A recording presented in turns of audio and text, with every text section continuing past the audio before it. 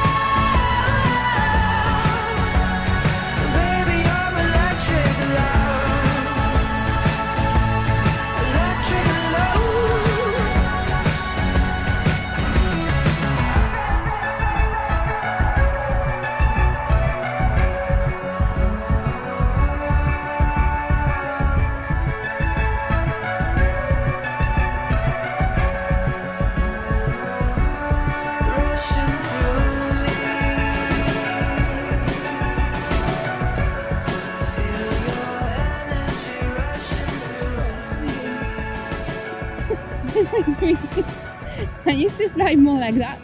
And.